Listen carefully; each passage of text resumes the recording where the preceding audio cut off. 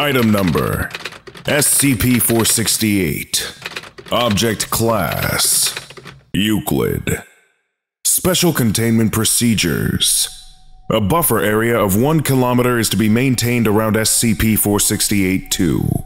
Individuals found inside upon initial Foundation acquisition may only exit with the permission of the overseeing Level 4 researcher. All Foundation personnel entering for purposes of observation must exit two hours after entrance. SCP-468-1 is not to be moved from SCP-468-2. It is to be contained within a standard locked containment unit.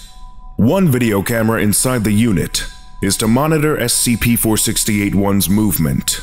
The unlocking combination is held by the overseeing Level 4 researcher. Description SCP-468-1 is an abacus with dimensions of 20 by 7 centimeters in near perfect condition, with no missing beads or signs of disrepair. Its beads, despite the lack of any obvious motor or driving system, will move autonomously. Periods of movement are interspersed by periods of rest, which usually last 3 to 5 hours. SCP-468-1's beads will often perform basic arithmetic operations, though this is not always the case. SCP-468-2 is the former farming village of located in the Chinese province of Jiangsu, with an area of about 2.3 square kilometers. It is presumed that the previous owner of SCP-468-1 lived within this village. Research Site 133 which houses all personnel assigned to SCP-468, is located 3 kilometers from SCP-468-2. Foundation investigations have data expunged. Roads, houses, and other sufficiently large man-made structures inside SCP-468-2 will shift their positions as SCP-468-1 itself moves. Movement invariably results in the formation of geometric patterns. Usually, roads lined with houses will move to form rows and columns. Other patterns that have been observed include basic circular and triangular patterns.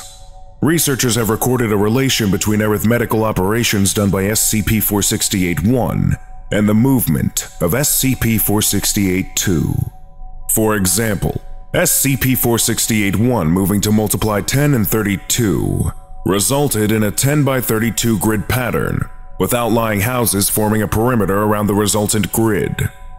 All sufficiently large animals, including horses, dogs, cats, and human beings, within SCP-468-2 are subject to its effects. During periods of SCP-468-1's rest, affected subjects will travel between structures. Only SCP-468-2's roads will be used to travel, no two subjects will ever travel in different directions on the same road. The speed of travel is invariably 2.3 meters per second, with one pace taken every 0.6 seconds. Mathematical functions are often performed with affected subjects acting as counters. Animals susceptible to SCP-468-2's effects begin to display symptoms 2.5 hours after entry into the village.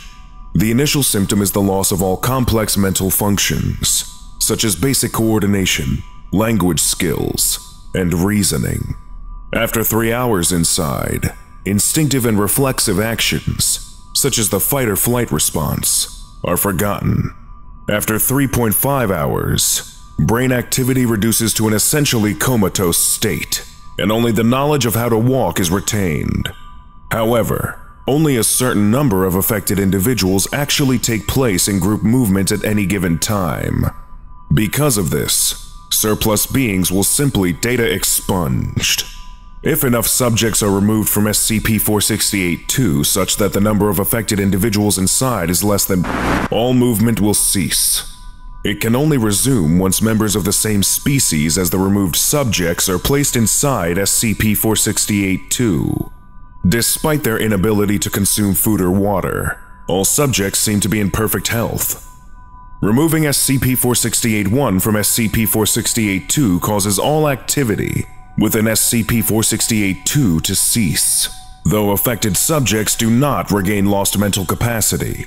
Given the research opportunity that would be lost, this is prohibited. Addendum 468A. Before it became the focus of Foundation attention, SCP-468-2 was a relatively isolated community. Beginning January 12th, 19 residents reported roads and houses shifting several meters in sudden bursts. Local authorities assumed tectonic instability to be the cause of the moving structures and advised all residents to evacuate. Approximately half of the population complied. By February 3rd, no more reports were filed concerning the believed tectonic instability. By March 21st, attempts to contact people living in the village were met with no response, prompting Foundation involvement. By the time nearby agents arrived, the entire remaining population had succumbed to SCP-468-2's effects.